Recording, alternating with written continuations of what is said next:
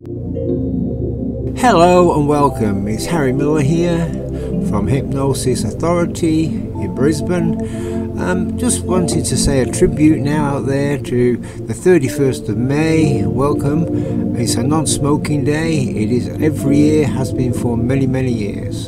So 31st of May is non-smoking day. I want to say thank you to all the agencies and all the therapists who've helped to make this world a beautiful, bluer place. Now, at the end of the eight minutes, which I'm sure you'll enjoy, if you are a smoker, guess what?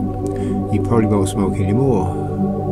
Or you'll be well on your way to becoming a non smoker and enjoying life without cigarettes. Enjoy the movie.